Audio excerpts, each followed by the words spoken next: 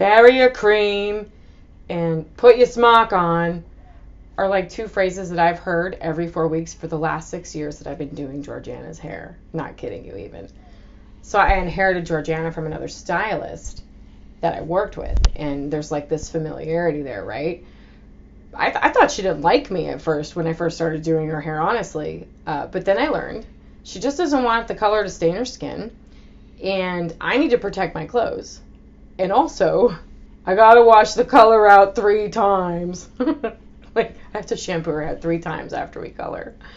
Anyway, so before her appointment every four weeks, she goes to the little Mexican restaurant that next door that's next door to my salon, and she gets a bag of chips and queso. So we sit and eat this chips and queso while our color's processing. And we talk about all the things.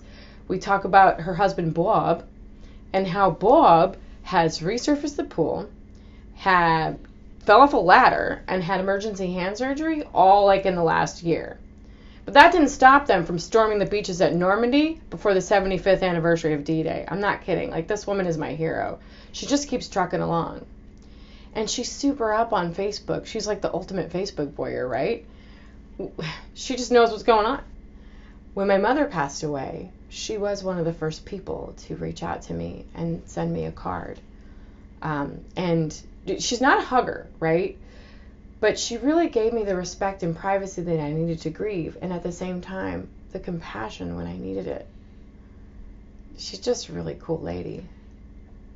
She moms me, right? So, like, now when she comes, she says, while her color's processing, you better go eat your lunch. And I can't lie to her because if I do, she knows I'm lying, just like a mom. She's that cantankerous old lady that you just can't help but love. We don't get to eat chips and queso anymore, but we will.